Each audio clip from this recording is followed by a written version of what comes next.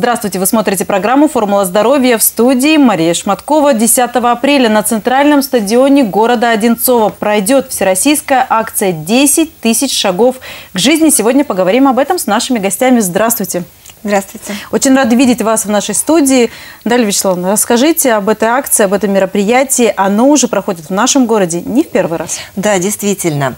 Э, такая акция не первый раз проходит в нашем округе и посвящена на Всемирному дню здоровья, который отмечается во всем мире 7 апреля. И хочу сказать, что у нас в округе с 2021 года существует программа, которая называется «Укрепление общественного здоровья.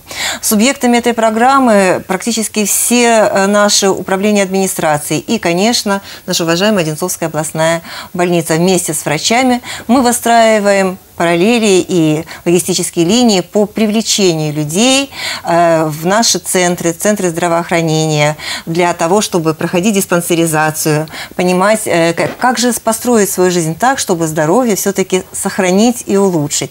Но самое главное, укрепление общественного здоровья – это еще огромный пласт мероприятий, это и культурные мероприятия, и спортивные, и общественные, которые как раз и нацелены на пропаганду здорового образа жизни. И вот эта наша замечательная акция «10 тысяч шагов к жизни» э, является одним из ярких мероприятий, которые еще раз напомнят о том, что о здоровье надо заботиться всеми возможными способами. И, конечно, в первую очередь это активной двигательной деятельностью. Наши участники этой акции 10 апреля, в это воскресенье, пройдут 10 тысяч шагов по Одинцовскому стадиону. Но не только в этом заключается мероприятие. В рамках мероприятия будут проходить и мастер-классы, где будут наши очень уважаемые э, преподаватели, спортивные тренеры, будут показывать именно те формы, которые может выполнить каждый человек для того, чтобы улучшить свое здоровье, улучшить кровообращение, подышать свежим воздухом. Но и еще что очень важно – пообщаться, пообщаться с единомышленниками, прийти всей семьей.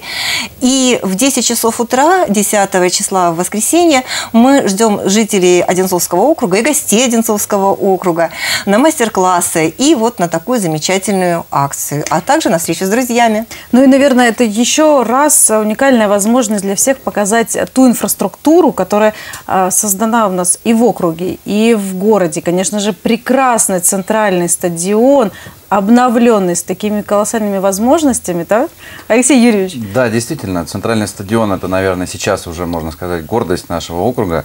Мы долго к этому шли, если не ошибаюсь, с 2014 года, э, от оформления документации до открытия непосредственно стадиона. У нас немножко пандемия э, так сдвинула наши планы. Мы бы и раньше были готовы открыть, но вот в полной мере стадион заработал э, в 2021 году, и, в принципе, он готов принимать всех жителей, которые э, просто хотят заниматься физической культурой и спортом. И, соответственно, мы можем еще на нем проводить такие замечательные мероприятия. Инфраструктура полностью позволяет, и интерактив, и э, то количество оборудования и инвентаря, которое там есть, и сами спортивные площадки. Галина Викторовна, как вы считаете, насколько важно сегодня в современном мире оставаться активным, придерживаться здорового образа жизни и, конечно же, принимать участие вот во всех тех акциях, которые проводит э, местная муниципальная власть для жителей округа.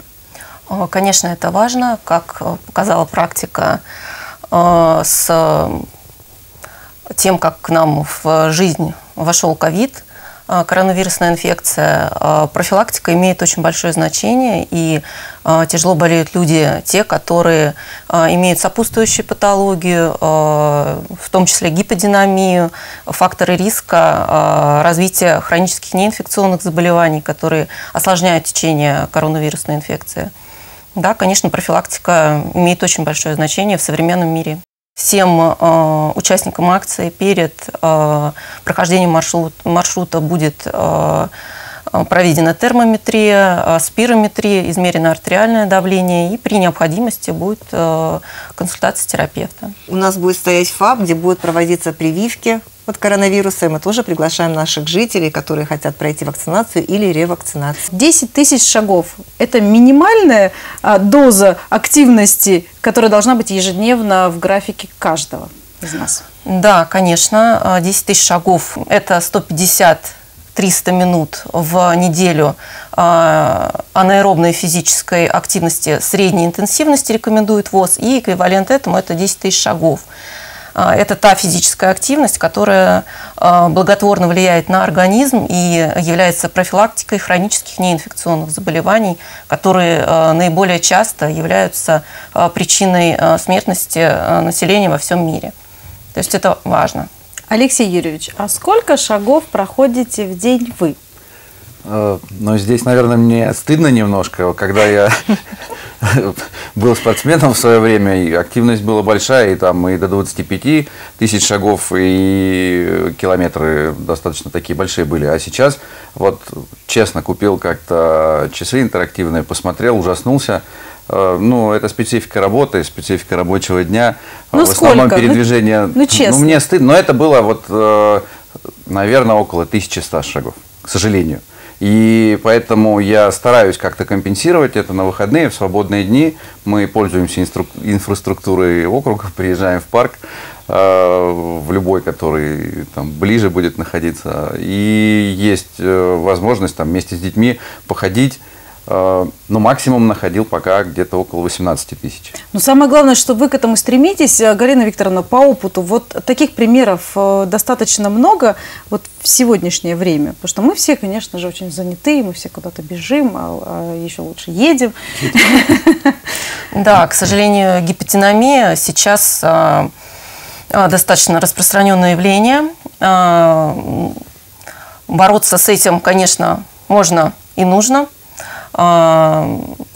если... Но, наверное, самое главное здесь это желание самого человека. Ведь вот э, мы говорили до начала наших съемок о том, что в округе просто прекрасная инфраструктура и созданы все условия для любого вида спорта, э, для профессионального, любительского. То есть вот для любого возраста. Для любого возраста. То есть достаточно э, лишь одного – это желание и как-то вот найти ту мотивацию, да, заставить себя встать, не полежать на диване, да, там, с компьютером, планшетом или около телевизора, а все-таки встать, пойти прогуляться по паркам, не знаю, прокатиться на велосипеде, на лыжах. Ну, здоровье – это самая большая мотивация. Но все-таки есть ну, как бы динамика. И примеров таких много, но вот вы как считаете, по опыту, стремится молодежь стать активнее? Обращается да. вот больше к своему здоровью, больше внимания этому уделяет? На сегодняшний момент э, очень много у нас э, пациентов, которые приходят на диспансеризацию, чтобы э, проверить состояние своего здоровья. Это э, много пациентов достаточно молодого возраста.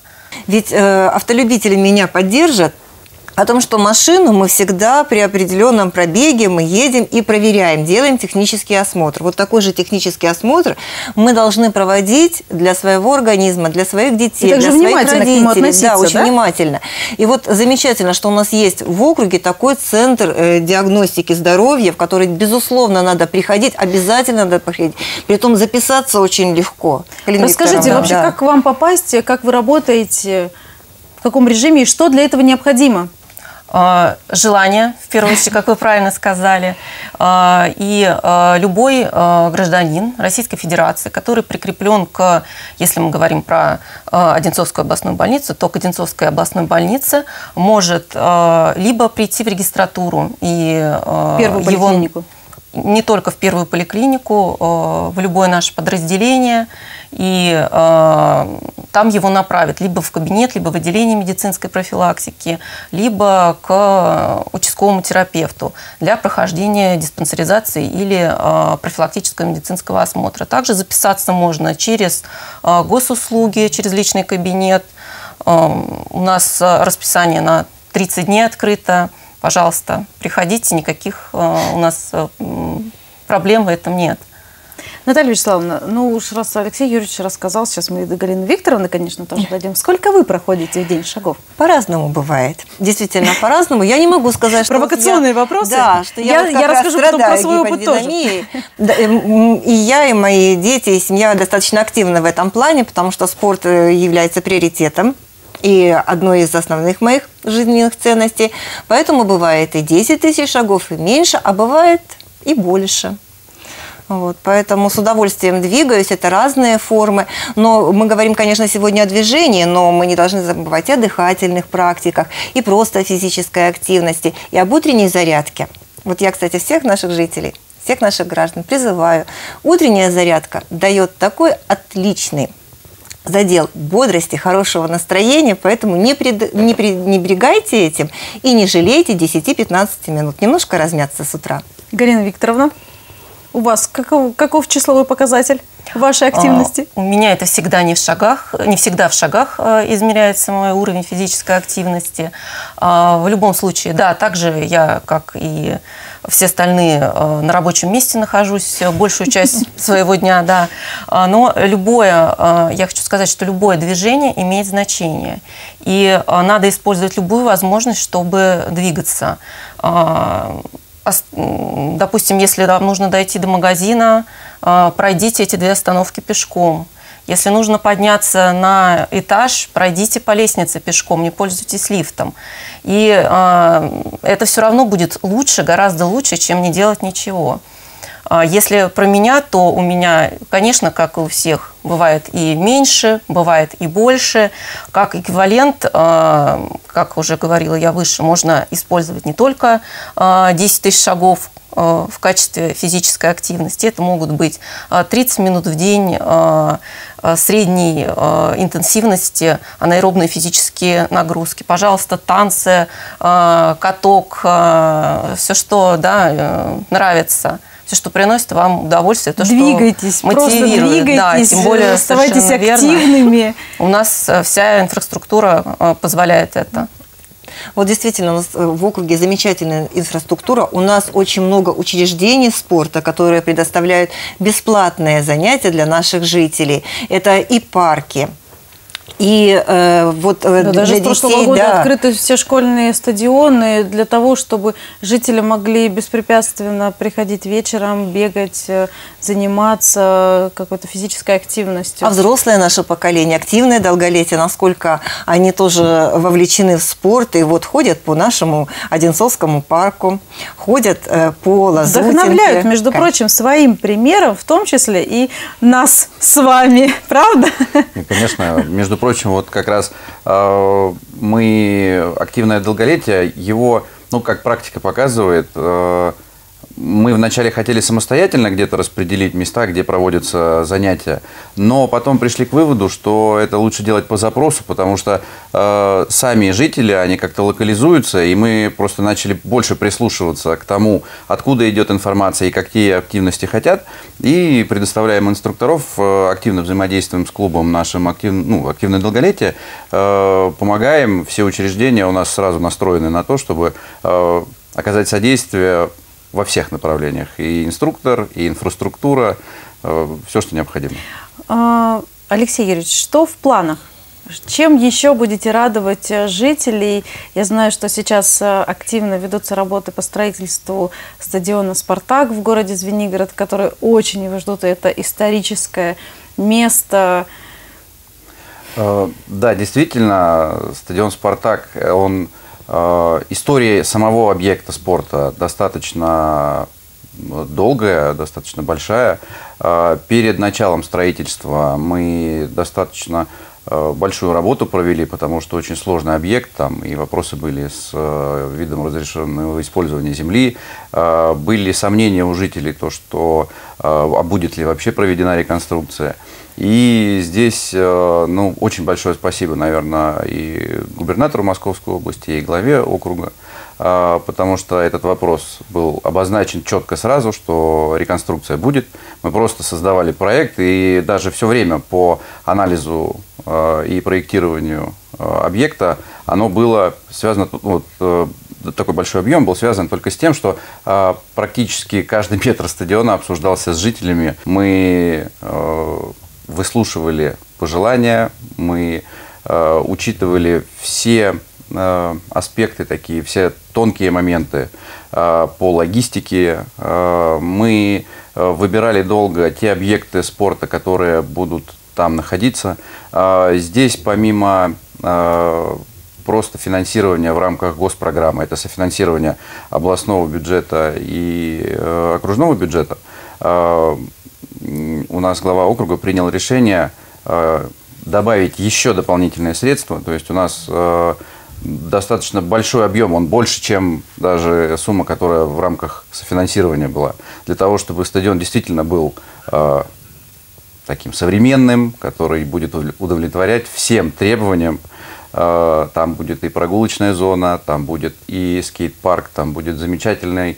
Э, То есть прям точка притяжения, да. спортивная точка притяжения для Да, ну жители Звенигорода, они уже видели даже проект, мы делали 3D-визуализацию, показывали на э, встречах на стадионе. Какую обратную связь получили?